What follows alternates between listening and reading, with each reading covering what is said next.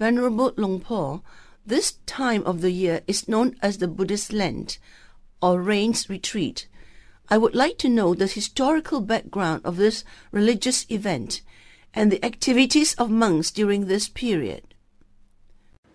There are numerous historical accounts on how the Buddhist Lent season came to be. In the beginning of the Buddha era, Buddhist Lent season did not exist yet.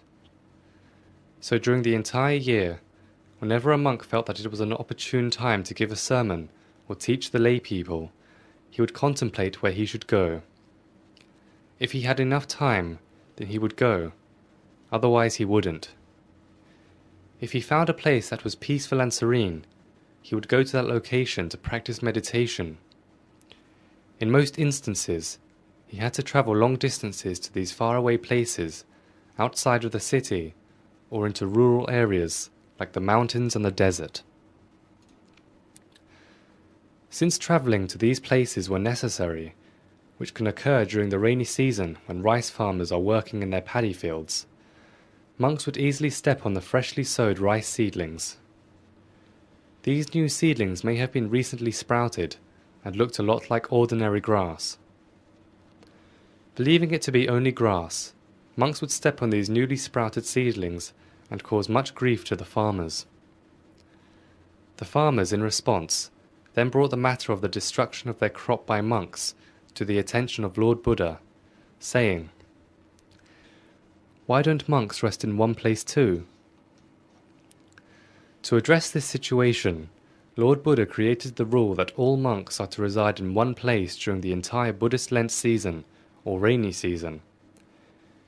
This period starts on the first full moon day of the eighth lunar month until the first full moon day of the eleventh month of the lunar calendar. This was to keep the monks in one place, so that they would not have to go seeking meditation sites or give sermons somewhere else. Whoever wanted to hear a sermon could come listen to these venerable monks at the temple, so there would be no need for monks to travel to go visit these patrons. This rule was created to resolve the chances of having others place blame on his disciples. Therefore, Lord Buddha made it a rule that every monk stay at the temple during the Buddhist Lent season. The newly ordained monks would study Dharma and receive Dharma principles from seasoned monks. The seasoned monks would play the roles of teachers and mentors to these new monks. In addition, seasoned monks would make plans as to where they would travel to give sermons once the Buddhist Lent ended.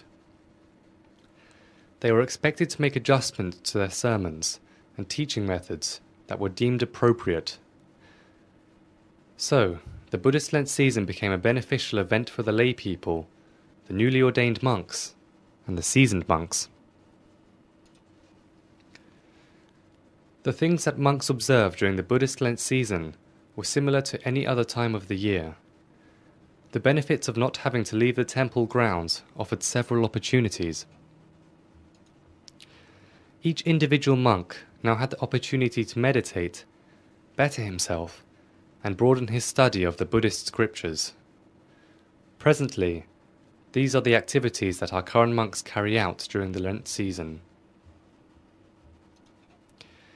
If we were to visit other temples at this time, we would find that monks may be ordaining temporarily or for the entire rainy season.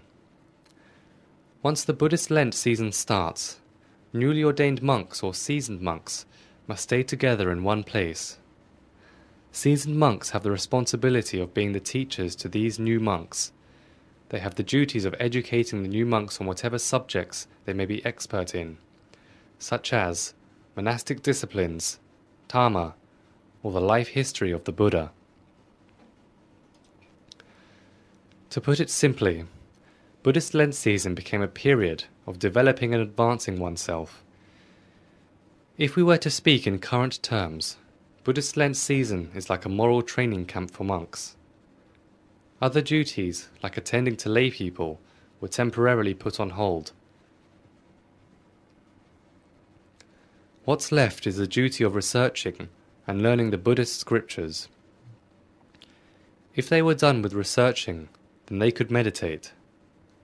Meditation is the process of researching oneself from within the Buddhist scriptures within oneself, The external scriptures can be found in the collection of books, and the internal scriptures is found inside us through meditation. Furthermore, when the new monks are residing at the temple, their parents, family, relatives, and friends will come together to make merit at the temple. When they come to the temple, they will get to see these new monks who were once a friend, a son, or a nephew. Once at the temple, they can meet the teacher or elder monks and listen to sermons, since their newly ordained sons and nephews are not yet skilled enough to deliver a sermon. This then makes Lent season a season to study the Dharma, both for monks and the lay people. This is the story behind the tradition of Buddhist Lent season.